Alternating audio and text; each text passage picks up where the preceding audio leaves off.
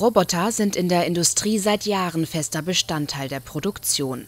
Nach einer Prognose der International Federation of Robotics werden im Jahr 2020 weltweit bereits mehr als drei Millionen Roboter in Fabriken tätig sein.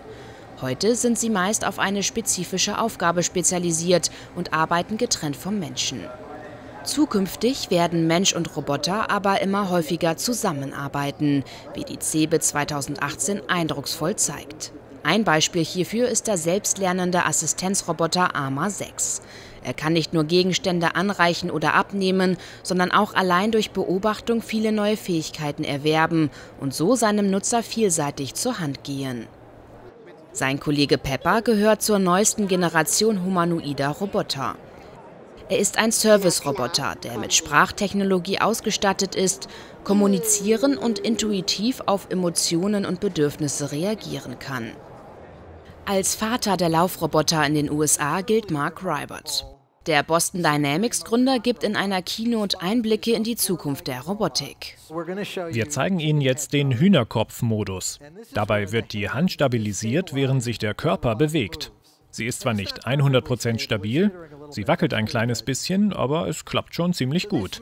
Das heißt, wir können Aufgaben erledigen, bei denen die Hand etwas macht, während die Koordination des Körpers automatisch passiert.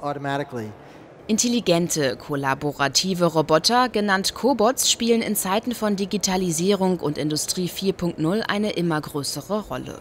Panda ist in der Lage, durch Bedienung einer Benutzeroberfläche mit Software zu interagieren.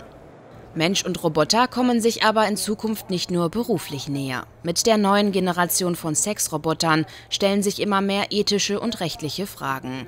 Und auch die möglichen Auswirkungen auf Menschen und die Gesellschaft werden kontrovers diskutiert. Wir müssen uns halt als Gesellschaft darüber Gedanken machen, wie wir damit umgehen wollen, äh, wenn äh, bestimmte User mit Sexrobotern auf eine bestimmte Art und Weise umgehen, die zum Beispiel gewalttätig ist oder eben, wenn Sexroboter bestimmte Formen annehmen, zum Beispiel die Form von einem Kind. Ähm, das sind halt Debatten, die wir gesellschaftlich führen müssen und das hängt halt, wie wir uns dazu positionieren, hängt sehr stark von der Wirkung, die diese Roboter dann auf die Person haben, ab. Robotiktrends auf der CeBIT 2018. Ein spannender Blick auf den aktuellen Stand der Technik mit Aussicht auf die noch spannendere Zukunft.